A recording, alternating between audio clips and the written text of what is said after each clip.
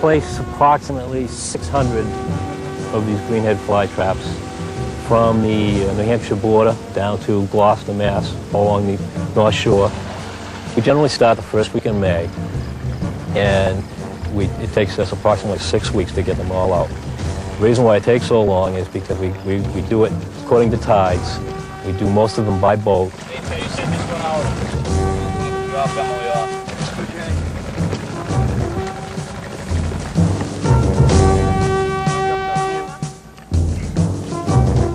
Found that the flies would take natural sort of areas to move. Their flyways were sort of developing.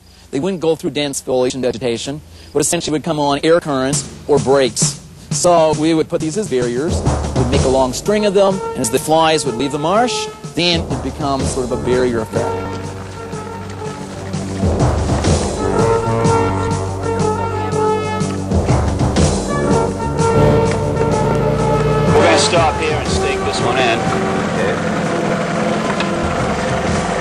The last one that was staked in. Does this one need to be repaired now? That one's all set. I think it just needs to be staked.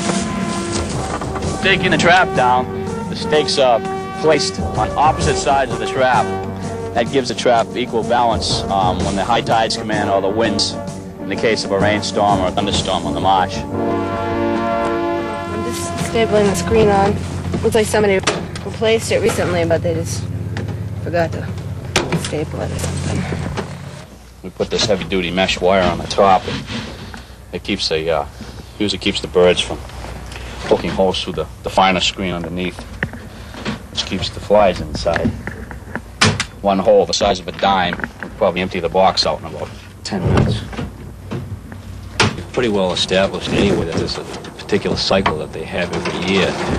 The life cycle is that the female deposits her eggs and they go through the larval stage and, and a pupa stage and they emerge as adult greenheads and then about the second week in July is when we really see the population climb.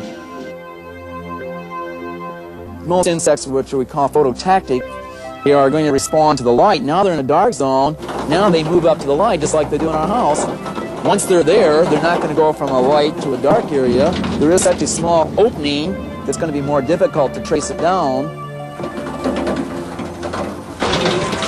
We have found temperatures of 140 degrees at this height on the salt marsh.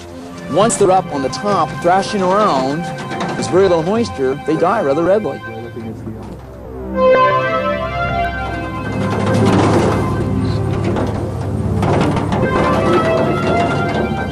Behind Cranes Beach, we were able to pull down 1 million one week by a series of 20-some traps. We're getting 5,000 biting females per hour. Just tremendous numbers. We concentrate uh, very much on high public use areas, and we put traps out, for example, uh, along the North End Boulevard in Salisbury Beach, uh, the Crane Reservation, uh, Essex River along the marina, uh, Good Harbor Beach, and uh, along the Annisquam River. We have dramatically reduced the population. I would guarantee you that the majority of those people will say there aren't anything as bad as they used to